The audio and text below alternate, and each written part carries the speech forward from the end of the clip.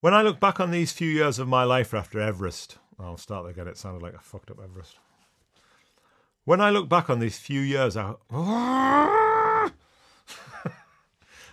I've got a paragraph to go, for God's sake. Oh. One paragraph, come on, you numpty. At the time, I was beginning to investigate the possibility of offering treks to Everest through my Everest Dream. Com- Fuck bollocks shit. At the time, I was beginning to investigate the possibility of offering treks to Everest through my Everest Dream community. My brain doesn't want to come say that word. Come on! Jesus, hang on. Let's have a little drink.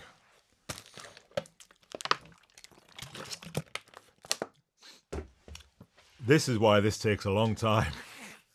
ah, bollocks. Got all this shit. A slight, kindly old man who read the. Here we go.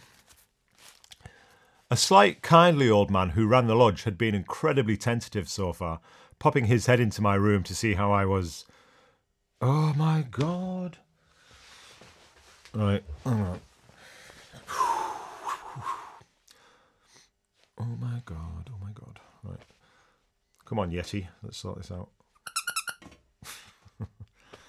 After two weeks of eating a rich Chinese diet, it was nice to have something plain and simple. I assumed there was not much chance of catching food poisoning from an English pub. Wrong. oh, hang on, I'll start that again. I'm just laughing at that. oh, shit. Wrong, wrong, wrong.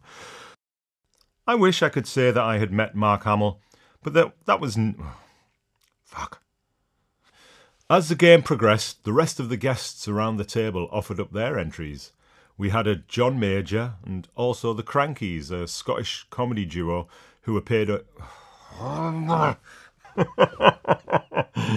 Krankies! Jesus. Fuck, fuck, fuck. Right. Yeah. uh, it wasn't me who met them, but I don't know who met them that night, but they were mentioned. Right, okay. Take three, for fuck's sake. I answered that I had once. Bollocks.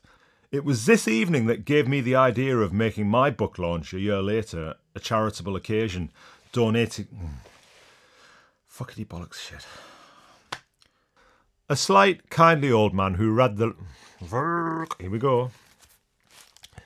During the last week, we dined at an English themed pub. I ordered sausage, mashed potato, and peas. After two weeks of eating a rich Chinese diet, it was nice to have something plain and simple. I assumed there was not much chancing of catching